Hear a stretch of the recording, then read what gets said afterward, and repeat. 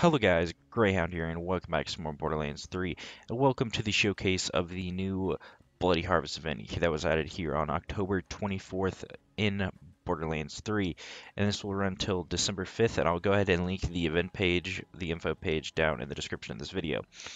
But this is, uh, I'm looking at this new tab, they added a new events tab here in the main menu which is pretty cool. And the way this works is there's a certain amount of challenges you have to complete for certain cosmetic rewards.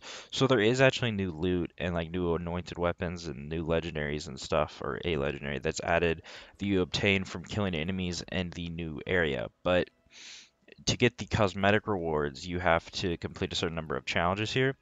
And the challenges are listed here. They're all pretty straightforward. Um, yeah, but to get the weapon skin, and the trinket and the echo skin, I believe you only have to do it on one character.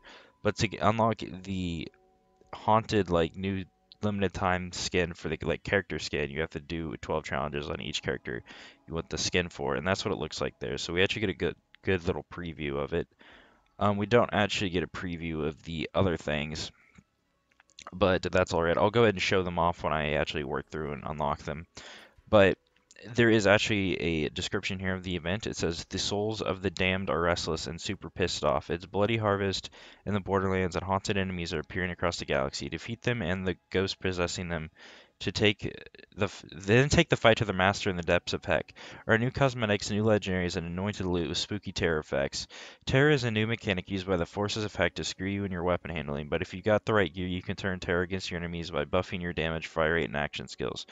You can find haunted enemies at almost any location, but if you're looking uh, for a fight, check out the Circle's Slaughter in areas like Lectra City or the Voracious Canopy. Find Maurice in Sanctuary 3 to begin the Bloody Harvest. And Maurice is actually over here. I'll go ahead and show you where he is. He's over by the Mayhem mode uh, switch.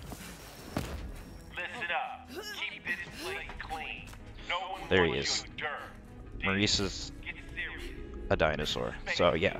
So I'm just making this video to go ahead and make sure everyone knows that this event is active in case you haven't touched the game in a while. So if you guys are excited for this event, make sure to leave a like on the video. And if you want to see more Borderlands 3, make sure to subscribe as well. And I'll be seeing you guys in the next video. I'm out. Peace.